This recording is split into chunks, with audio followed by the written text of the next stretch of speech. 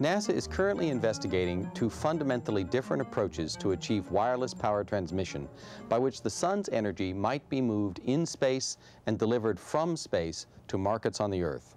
One likely method is to convert the sunlight into a low-intensity microwave beam, as discussed in another video segment. The other is through the use of electric or solar-pumped lasers. While a microwave beam is the most efficient approach, it requires a very large transmitter, called a phased array, to operate successfully.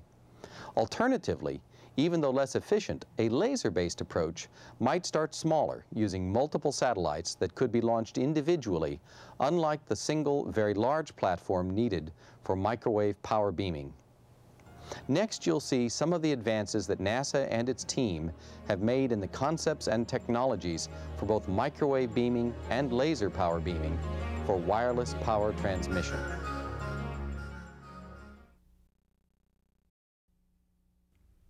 The technology of wireless power transmission is not without precedent. Significant demonstrations and verifications of electric power transfer efficiency and high power delivery at long range have been accomplished by NASA. The most dramatic of these was the NASA JPL Goldstone demonstration conducted in 1975, in which 34,000 watts of power was safely transmitted over 1.5 kilometers at an efficiency of greater than 82 percent.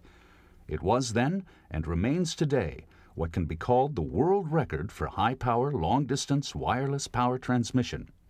The NASA JPL Venus Station 26-meter antenna, with its 500,000 watt transmitter, was used to perform a 1.54 kilometer wireless power transmission to a Rectenna array located on the Goldstone site's collimation tower. 4,590 Rectenna elements with high-efficiency gallium arsenide diodes were fabricated at the Raytheon Microwave and Power Tube Lab and assembled in Rectenna subarrays of about 1 meter square. From each DC output of the 17 subarrays, approximately one-third of the power was routed to a pair of 300-watt lamps. The lamps were arranged in the geometry of the Rectenna array and wired to corresponding positions such that illumination of the lights would represent the received power beam at the Rectenna. Of the calibrated RF power flux density that fell on the 24 square meter Rectenna array on June 5, 1975, 82.5% was collected and converted to direct current output.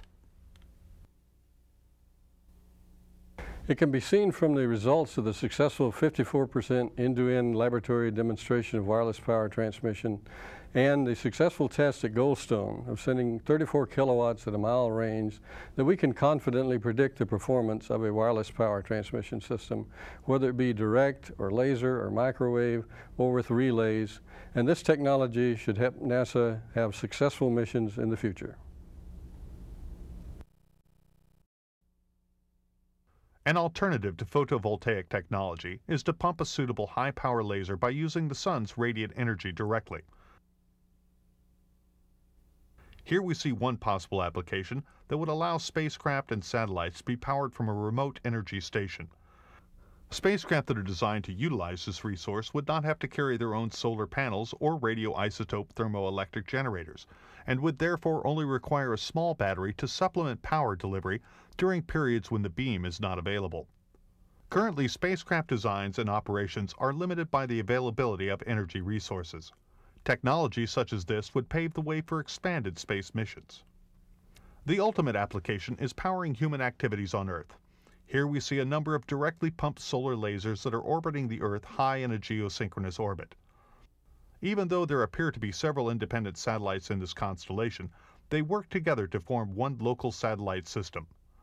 There would be many such satellite systems in geosynchronous orbit. Ultimately, the energy beams from these satellites may either be concentrated at one receiving station on Earth or sent to many smaller and remote receiving stations where the energy is most needed. The directly pumped solar space power satellite is a technology under development that has great potential to solve many of the current limitations in power beaming technology and light the way to a brighter future for humanity.